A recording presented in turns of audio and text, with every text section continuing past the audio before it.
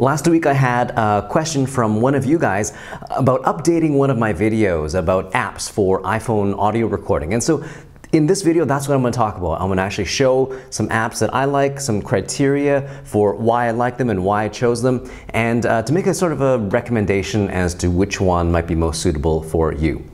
Hey there, my name is Carl Kwan. If you've never been here before, Edutige Microphones makes microphones that will help you boost your sound. And on this channel, we give you tips, tricks, and how-tos to get great audio for whether or not you're using a GoPro, a DSLR, a mirrorless camera, an iPhone, or an Android phone. So if you haven't subscribed already, make sure you subscribe and hit the bell icon as well so you don't miss out on any future videos. Okay, let's dig right into it. I'm actually gonna switch over to my iPhone screen so you can see exactly what I am doing and which apps I'm using on my phone. And I'll also be using the, um, I, the um, EIM 001 as my test microphones, my test subject for all of this. All right, so here we go. Okay, so here is my iPhone, and because it's an iPhone 6, I do, I, I, do, I don't have to, but I am gonna use the lightning connector cable so that you guys who are using newer iPhones will know exactly what it is like to use this, all right? So first of all, I have the adapter, connect that directly to my phone here, uh, and then of course my very trusty EIM 001. I'm not gonna use the windscreen on it just so you can see what it looks like on my phone here, all right? So let's just plug that in. And there we go. Okay, so that's what it looks like. So now let's actually go in and I'll record the screen on my phone and uh, that way I'll sync the uh, audio from my phone together with this. I'm gonna leave this dangling. I will maybe hold it just so you can get a better sense of what it's like. All right, so now we're recording from my iPhone and uh, I'm actually recording the audio as well. So I'm recording directly with the EIM001 into my phone. This is the video file. So you can see here I've got 10 different apps on my phone as well as a photo of my kid and my wife there too. Uh, so the Voice Memos app, that is the built-in um, app from Apple. Uh, that is an actually really great app, really simple to use. And so I guess maybe I should talk a little bit about the criteria that I had for creating this video and for choosing the apps that I did. One of the criteria is that it has to be super easy to use the app. It can't be one where I need to dig through menus and to figure out things. I need to you know, guess exactly how to use it. It needs to be pretty intuitive. So that also means that the design, the interface should also be pretty simple. It shouldn't be something that takes me a lot of time and effort to figure out and to know what to push. Uh, the other thing also is, uh, for me, I think that is important, is the size of the app. If it's a huge download, I don't know why I would want that on my phone. I want something simple, small, lightweight that doesn't take up a lot of space. The other criteria I had is uh, the recording format, so what type of files I can record. Now because I usually make videos with my iPhone, if I'm going to be recording audio with it, uh, I want to make sure that I can record in a WAV format. That would be the highest um, quality format, and also with that format, I also want to make sure that it is um, the, uh, the 44.1 megahertz as well, so I'm getting good high quality audio. So most of these apps can record to MP3s or M4As, which are the typical um, iPhone um, formats, uh, but I want to make sure they can record into WAV format too. All right. Uh, and so the other uh, criteria for that obviously is sound quality. So if I'm recording with one of those apps, I want to make sure that it actually sounds good. All right. Uh, and the final consideration for me is price. Are these apps free? Are they uh, freemium? And if so, how much are they? I kind of put a cap on the price of the app to uh, $7 US. So uh, all of these apps can be under that or free, okay, that I've recommended. So let's have a look at some of the apps here, all right?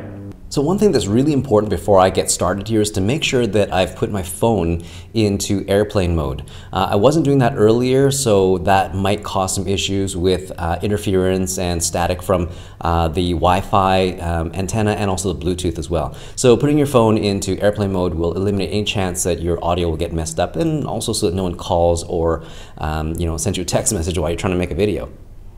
All right, so let's have a look. So the very first app is the Voice Memos app. Now, what I like about this app is that it is super simple. It is just one button, you hit record, and there you go. So now I'm recording directly to the phone. Now, one cool thing about the iPhone app that I didn't know about is that you can actually change the quality. So if you were to get out of this, I hope this still works when I get out of this.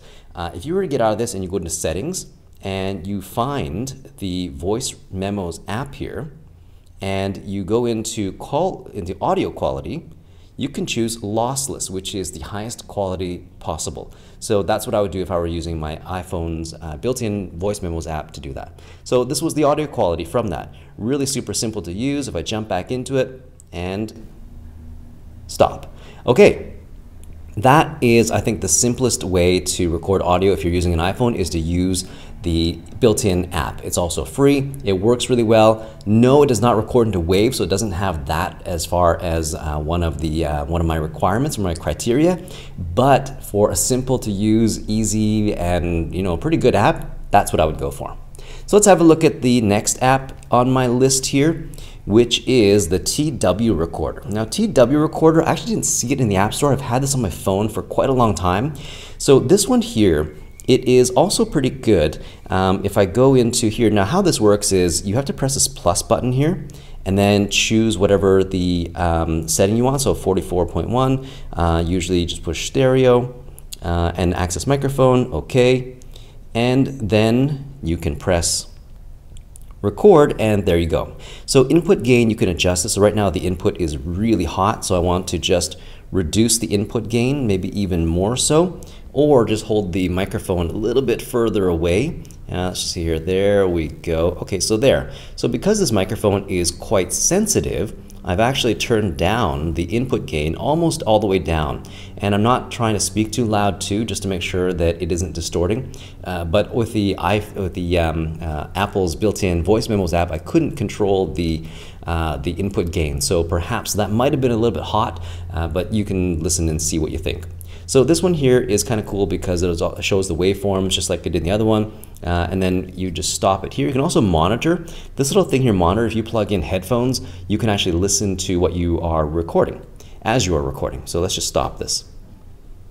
Okay, so once you stop it, I believe it is a matter of selecting this little icon up at the top here for any kind of sharing.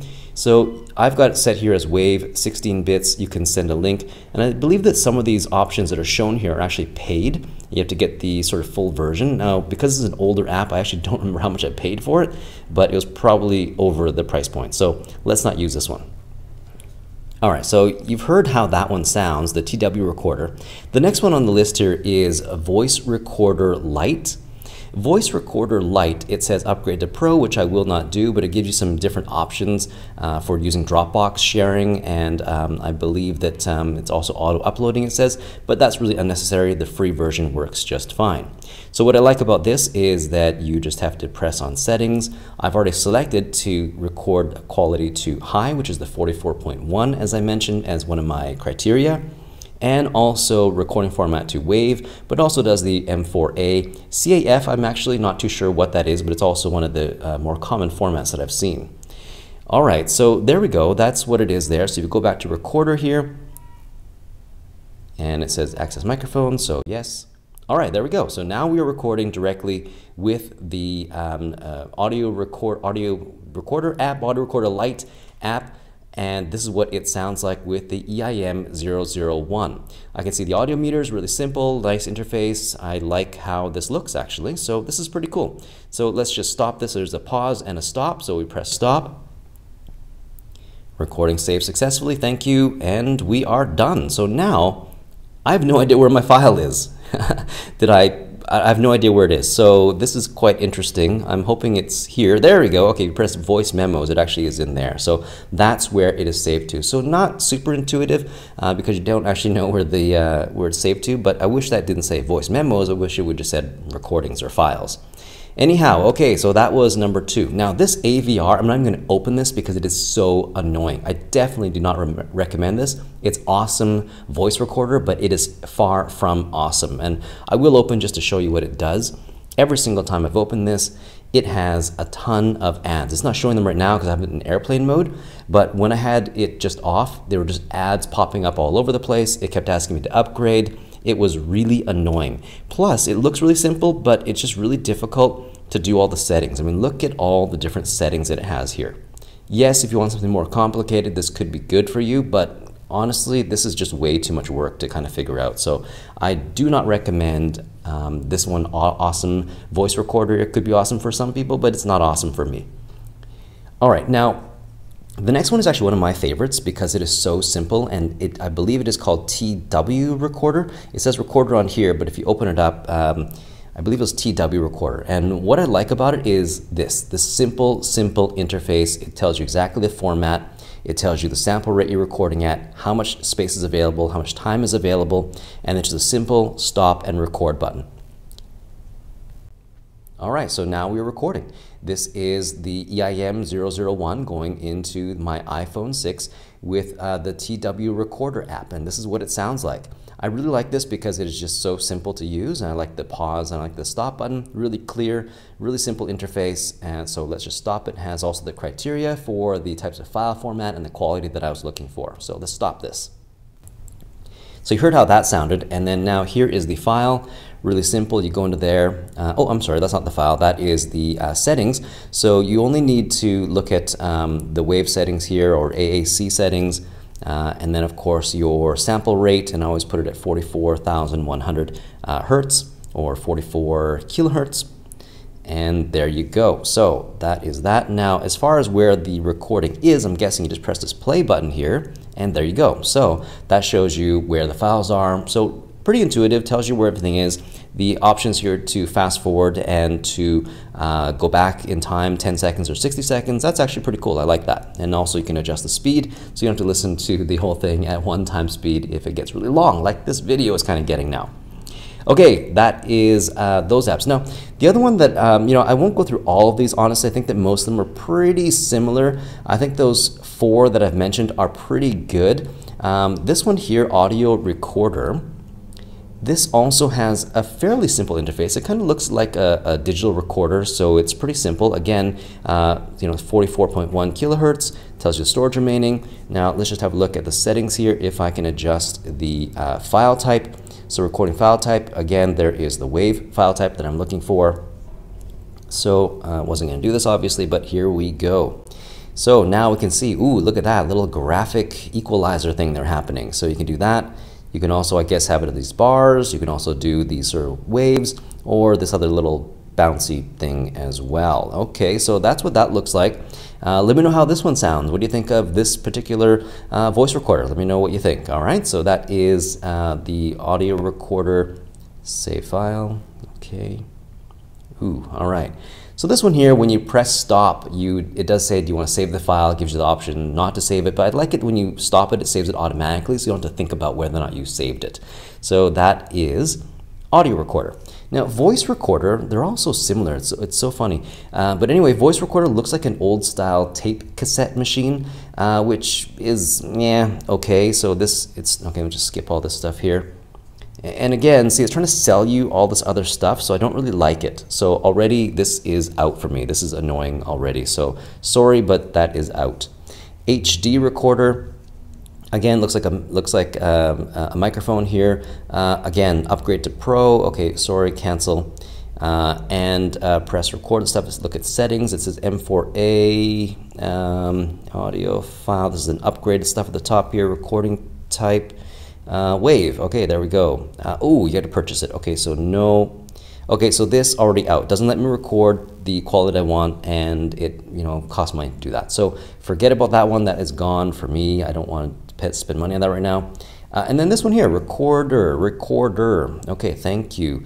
It says that it can uh, record the screen, so I don't want to do that. Okay, I'm not sure why it says record screen, but wave format, that is cool. Uh, sampling rate is 44,100. Okay, that is also fine. Um, okay, honestly, like this just looks like a lot of work to figure out. So uh, it says record screen as well, which doesn't look like a, a, voice recording app, so that is no good. Finally, voice record. We're gonna get through all 10 of these. Now this one here was actually highly recommended. I did see some pretty good reviews about this one.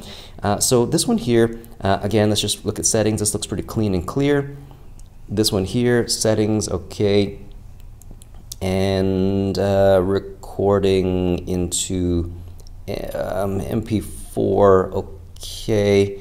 Um, yes, no, that doesn't really seem like it's what I wanted. MP3s, no. Okay, you know what? There are a lot of settings on this, and maybe someone would like to figure these out, but honestly, I don't want to figure these out. So I guess that I guess that brings us to the end of our video here. I'm actually going to stop the recording on my phone here first, so let's just stop that.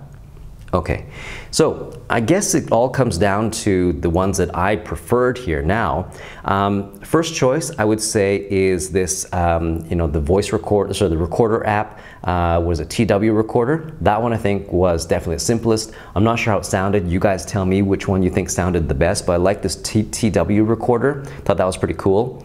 Uh, the other one that I also liked um, was uh, the uh, voice recorder. Uh, this one here that was the uh, the one that just had the simple looking microphone. I'd really like that one as well. Voice Recorder Lite, I believe it was. And you can also get the paid, but the Voice Recorder Lite works just fine. And of course, the regular old built-in voice memos app, also a really good choice. So I'd say those three are probably my top choices. And if I were to choose just one, I would probably choose uh, that um, uh, PCM or TW uh, uh, recorder, the one with the little uh, disc you know, button here, whatever. I like this one. This is really simple, gives you good control, and I believe it is also free.